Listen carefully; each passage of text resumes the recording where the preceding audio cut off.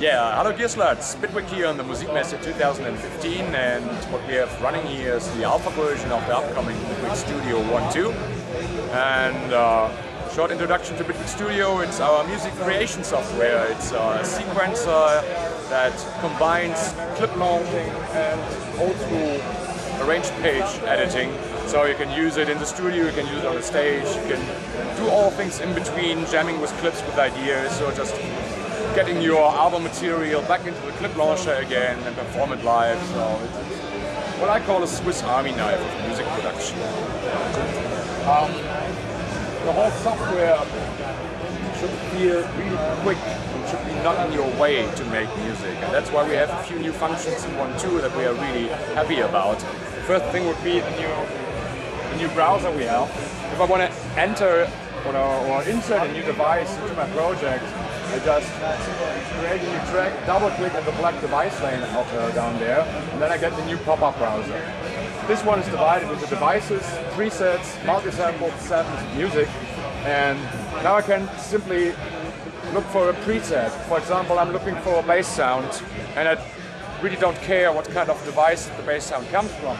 I would just go to the presets tab and look for bass sounds in there. When I click into that column, I can now just cursor through all the presets, and those presets, for example, are all for the search synthesizer, that is a VST. But if I go further down, there are suddenly presets that are not from the VST, but from our polysynth. So it's really not depending on where the sound comes from, it just inserts it in the device lane down there and I can play it directly. to see what kind of sound I like. If it's really quick and I'm not really not limited to what kind of device it is. If I know what kind of device I'm looking for and I don't care for the sound, maybe I just want to create a new one. I have the device browser and I can say what kind of device type I'm looking for, for an instrument or for an audio effect. I can say I want to see only Bitwig devices or all devices with the VSTs, and type in the first letters. Maybe I'm looking for Bazille, cursor down, boom, there it is directly, press OK, and then there you go. So really, really quick way to find sounds, which is really important because you get inspiration. You want to play something, you look for a sound, and you want to be really, really quick. Another new feature in 1.2 was really what we already showed on NAMM show in January is group tracks. It's pretty straightforward. You just take a few tracks, select them, right click group tracks, boom, and then creates a track for you. That one is a little bit slow at the moment, that's still the alpha version. The final version will be just with the blink. Okay. Yeah. So let's start the other version to show you the LinnStrument.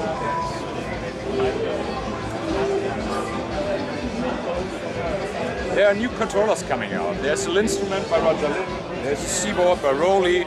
Um, those are all controllers that try to be a bit more on the expression side of things. With a normal keyboard I have just my keys, I have velocity, maybe I have aftertouch or polyphonic or polyphonic aftertouch.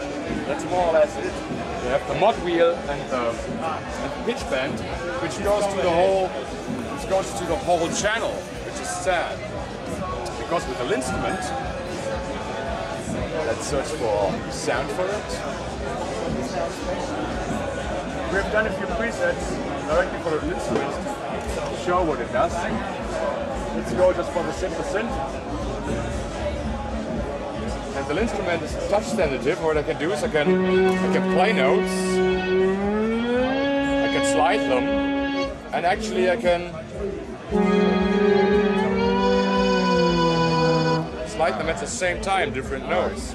There's not only the slide, there's also the timbre parameter can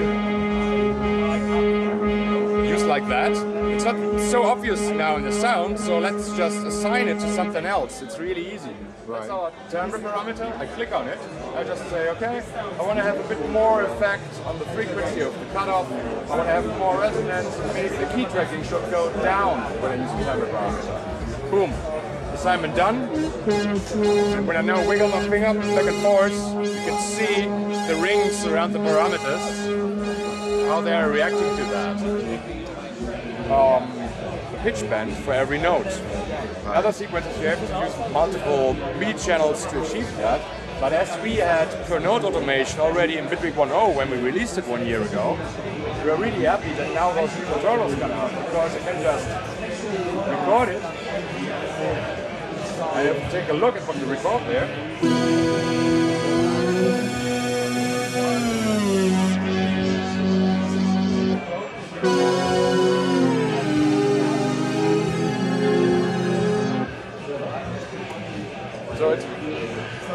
records actually every little movement in slides for every node in one click the notes directly and I can edit them afterwards. Right, right, right. It's a really cool way of more expression. There are so, so many cool synths out there, or so many cool orchestra libraries, libraries of, of acoustic instruments, and often you just play a melody pretty straightforward and then you spend half an hour to edit it so that it sounds like, like it was a real instrument that played. So the LinnStrument or the Seaboard and all those new controllers enable you to play really in a more expressive way. So yeah, we're really happy to have that in, in version 1.2 also. And the last new thing, because it's really about being quick and about having control. We have added new mapping functionality. I can actually map now anything that becomes bluish.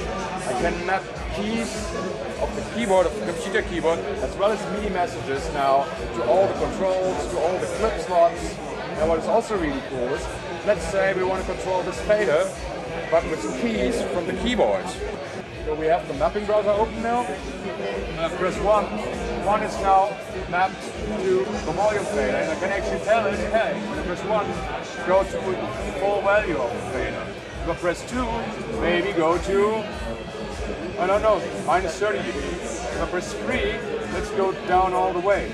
Boom, mapping done, really quick, and now I can jump between those values that I have set up Yeah. using the keys. That one is saved with the document.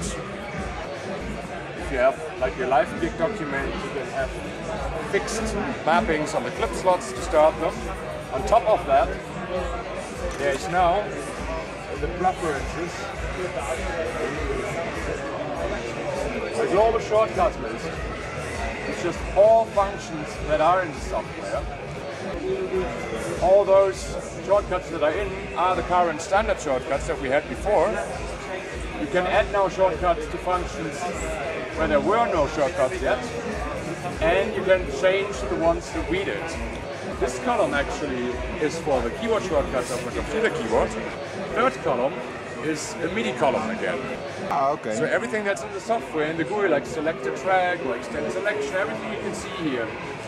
Project, activate the engine, export audio, so even those menu functions you can map now to MIDI.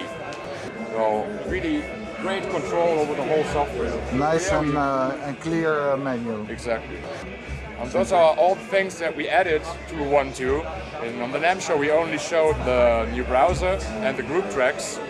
And yeah, the LinnStrument support, we added that. On top of that, the new controller assignments, the new mappings, and we will finish that thing, polish it a bit off, and well, the beta. Clear? Uh, thank you very much for the demo. welcome. And uh, I hope you have a lot of fun on the We do, Music we do. Great show for us here.